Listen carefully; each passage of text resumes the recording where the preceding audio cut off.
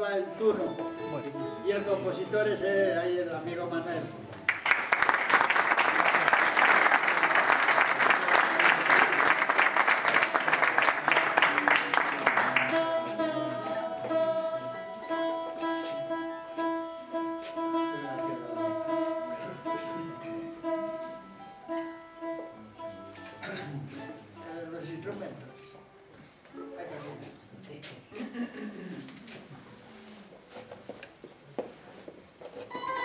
Thank you.